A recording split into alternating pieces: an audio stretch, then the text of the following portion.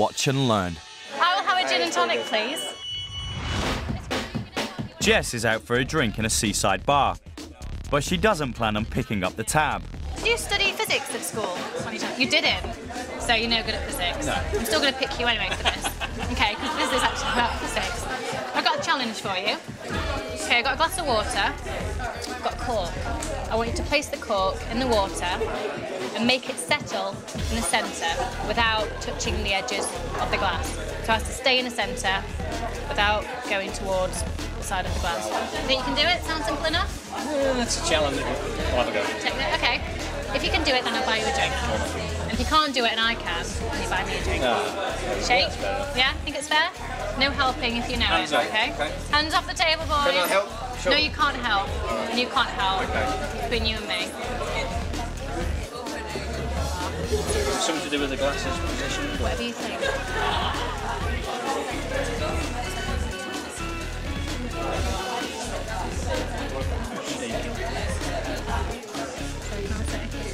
Whoa, baby, come on. Stay, stay. Oh, it's gone to the edge. You lose. Okay, so if I can do it, then you buy me a drink. Okay? Fair enough. Do, I didn't say you couldn't use anything. I'm just going to top it up a little bit. I see what's happening. I'm just going to top it up a little bit, you know.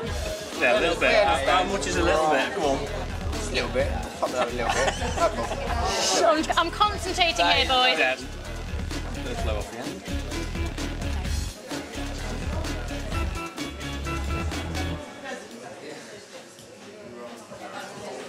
Go on, Cole. Go on, Cole. Move, don't move, don't move, no, no, no. Oh,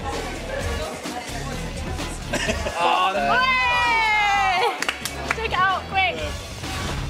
These guys have just been hustled by simple science. A floating cork always moves to the highest point of the water. When the glass is half full, the highest point is right at the edge, because the water surface is slightly curved.